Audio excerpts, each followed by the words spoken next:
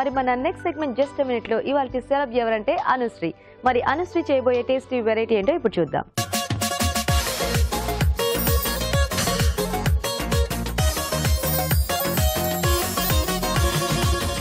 Hi అండి నేను మీ Anusri.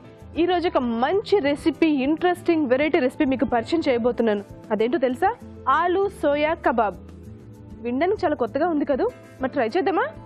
Okay దానికి కావాల్సిన పదార్థాలు ఏంటో చూసేద్దాం. ఆలు సోయా కబాబ్స్ తయారు చేయడానికి కావాల్సిన పదార్థాలు. బంగాళదుంప ఒకటి నానబెట్టిన మీల్ మేకర్ ఒక కప్పు తరిగిన ఉల్లిపాయ ఒకటి తరిగిన పచ్చిమిరపకాయలు రెండు గరం మసాలా అర టీ స్పూన్ ధనియాల పొడి ఒక టీ స్పూన్ నిమ్మరసం ఒక టీ స్పూన్ శనగపిండి మూడు టేబుల్ స్పూన్లు అల్లం వెల్లుల్లి పేస్ట్ అర టీ స్పూన్ కొత్తిమీర కొద్దిగా పుదీనా కొద్దిగా ఉప్పు తగినంత కారం తగినంత నూనె మూడు టేబుల్ స్పూన్లు. ఓకే. ఆలు సోయా కబాబ్కి కావాల్సిన పదార్థాలు ఏంటో చూసారు కదా? ఇప్పుడు దాని తయారు విధానం చూద్దాం. ఫస్ట్ ఇవి నానబెట్టిన మిల్ మేకర్ దీన్ని మిక్సీ జార్లో వేసుకుందాం. నెక్స్ట్ ఉల్లిపాయ ముక్కలు. తరిగిన పచ్చిమిర్చి. అల్లం వెల్లుల్లి పేస్ట్ ఒక హాఫ్ టీ స్పూన్ సరిపోతుందండి. కొంచెం. నెక్స్ట్ కొంచెం ధనియాల పొడి.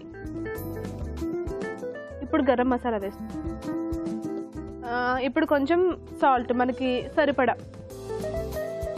కొద్దిగా కారం ఆల్రెడీ పచ్చిమిర్చి మసాలా ఇదంతా ఉంది కాబట్టి కొంచెం కారం. దీంట్లో కొంచెం కొత్తిమీర అండ్ కొంచెం పుదీనా. ఇవన్నీ కలిపి మనం మిక్స్ చేసి పేస్ట్లా చేసుకుందాం.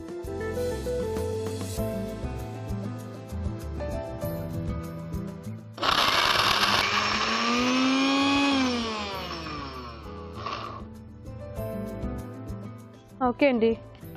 అయిపోయింది. దీన్ని మనం ఒక బౌల్లోకి తీసుకుందాం.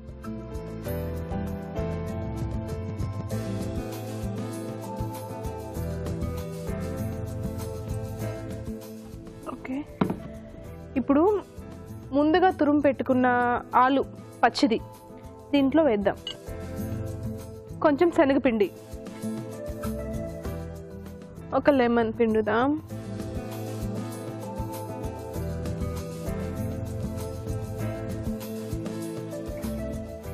దీన్ని బాగా మిక్స్ చేసేసుకుందాం. మనకి కబాబ్స్ వచ్చేలాగా.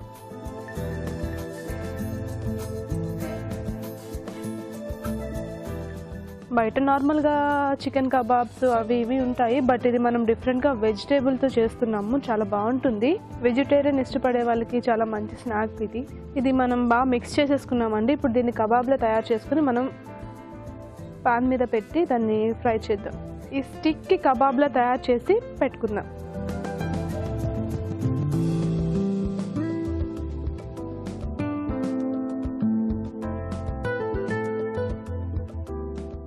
బయట కామన్గా నాన్ వెజిటేరియన్ బాగా తింటూ ఉంటారు కబాబ్స్ అంటే బట్ ఇది వెజిటేరియన్తో వెజిటేరియన్స్కి చాలా చాలా అంటే బాగుంటుంది మంచి రెసిపీ ఇది. డెఫినెట్గా ట్రై చేయండి. రెగ్యులర్గా నాన్ వెజ్ కామన్ కదా దీన్ని వెజిటేరియన్తో ట్రై చేసి చూడండి చాలా బాగుంటుంది. ఓకే మన కబాబ్ రెడీ అయిపోయింది. దీన్ని ఇప్పుడు ప్యాన్ మీద పెట్టుకొని మనం వేయిద్దాం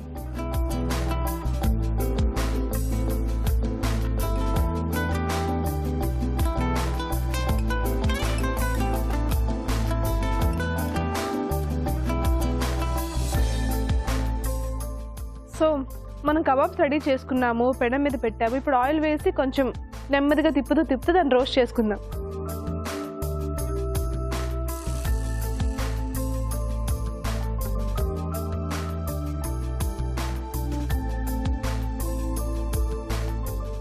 దీని మీద కొంచెం లైట్గా ఆయిల్ వేసుకొని ఫ్రై చేసుకుందామండి. చూడడానికి చాలా డిఫరెంట్గా ఉన్నాయి కదా? తినడానికి కూడా చాలా వెరైటీ టేస్ట్గా ఉంటుంది. డెఫినెట్గా ట్రై చేయండి.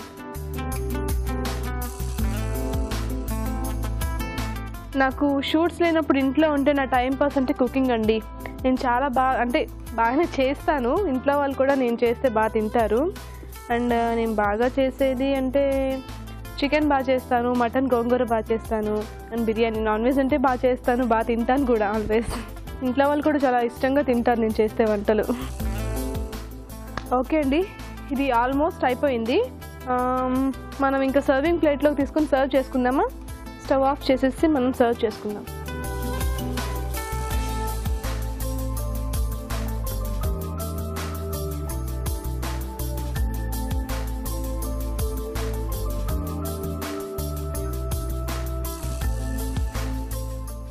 ఓకే. చూసారు కదండి? వేడి వేడిగా ఆలు సోయా కబాబ్.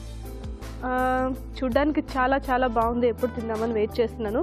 బట్ నేను తినే ముందు దీన్ని ఎలా తయారు చేయాలో మరింకోసారి చూద్దాం. ఆలు సోయా కబాబ్స్ తయారు చేసే విధానం. ముందుగా బంగాళాదుంప తురుము సిద్ధం చేసుకోవాలి. మిక్సీ జార్లో మీల్ మేకర్ ఉల్లిపాయ ముక్కలు తరిగిన పచ్చిమిరపకాయలు అల్లం వెల్లుల్లి పేస్ట్ ధనియాల పొడి గరం మసాలా ఉప్పు కారం కొత్తిమీర పుదీనా వేసి మిక్సీ పట్టి పేస్ట్ సిద్ధం చేసుకోవాలి. ఒక బౌల్లో మీల్ మేకర్ పేస్ట్ బంగాళాదుంప తురుము శనగపిండి వేసి బాగా కలుపుకోవాలి. ఈ మిశ్రమాన్ని కొంచెం కొంచెం తీసుకుని కబాబ్ స్టిక్స్కి గుచ్చి పెనంపై ఉంచి నూనెతో అన్ని వైపులా కాల్చుకోవాలి. అంతే. ఆలు సోయా కబాబ్స్ రెడీ.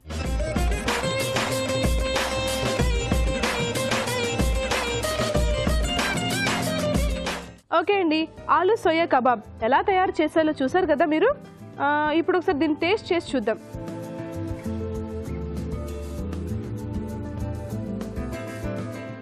చాలా బాగుందండి. కబాబ్. సూపర్. నేను ఎక్కువ నాన్ వెజ్ కబాబ్స్ తినేదాన్ని బట్ ఈ కబాబ్ నేను ట్రై చేశాను. చాలా బాగుంది. మీరు కూడా ట్రై చేయండి ఇంట్లో. స్పైసీగా ఉంది క్రంచీగా ఉంది ఎవ్రీథింగ్ చాలా బాగుంది. దీన్ని మనం లెమన్ పిండుకొని లే లేదంటే ఆనియన్స్తో కానీ టమాటా కచప్తో కానీ గ్రీన్ చట్నీతో కానీ ఎలా ఎలా అయినా తినొచ్చు. చాలా చాలా బాగుంటుంది. ఎలా ట్రై చేసినా ఇది. డెఫినెట్గా మీరు ఇంట్లో ట్రై చేయాలి. మీ పిల్లలకి పెట్టాలి. మీ ఫ్యామిలీ మెంబర్స్ అందరూ కలిసి తినాలి. చాలా చాలా చాలా చాలా చాలా హ్యాపీగా ఉంది నాకు ఈ షో చేసినందుకు. అండ్ డెఫినెట్గా మీ బ్లెస్సింగ్స్ నాకు ఇవ్వండి. మా స్వాతి చినుకులు సీరియల్ కంపల్సరీ చూడండి. ఓకే అండి. బాయ్. Take care. ఓకే అండి. మరి అనశ్రీ చేసిన టేస్టీ వెరైటీ చూసారు కదా? ఇప్పుడు మనం కార్వింగ్ చూద్దాం. సో రాజు గారు ఏం కార్వింగ్ చేస్తున్నారు? ఆ, బ్రింజాలతో చేస్తున్నానండి. ఓ. ఇంకా ఫన్నీ ఫేస్ లా చేస్తున్నాను ఓకే. కొంచెం ఫన్నీగా ఉంది ఇది ఓకే. కొంచెం ఈ తొడం కూడా ఉంటే బాగుంటుందండి. సో. దీన్ని కట్ చేసుకొని మనం ఇటువైపు షిఫ్ట్ చేసుకుంటాం. ఓహో. పైకి పెట్టేస్తామా. సో అలాగే ఇది బేస్ కూడా అవుతుంది మనకి ఇలాగా. సో ఇక్కడ క్యాప్ వచ్చేస్తుంది. ఓకే.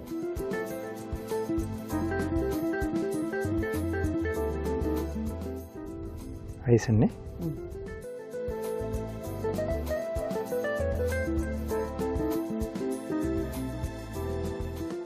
ఓకే కొంచెం స్మైల్ ఇలా ఇచ్చాను. సో చోలు వచ్చేసి ఇంకో వంకాయ పెడుతున్నాను.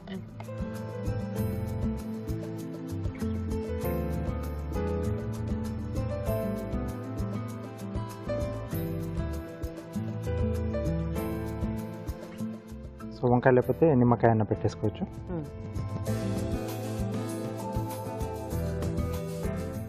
సో ఫైనల్ ఏంటంటే కొంచెం ఫన్నీగా కనిపించేటట్టుగా మనం చేస్తున్నాం అంతే. వెజిటబుల్ ఏదైనా మనం వాడుకోవచ్చు అటు ఇటుగా.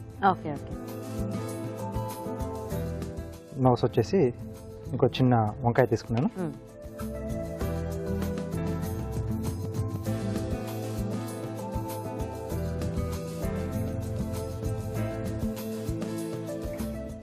ఐస్ కొరకు క్యారెట్ రెండు స్లైస్లు అండి.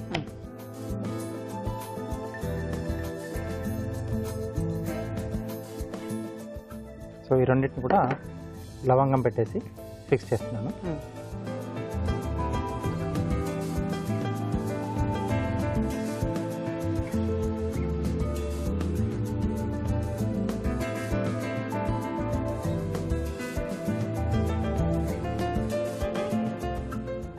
ఫైనల్గా క్యాప్.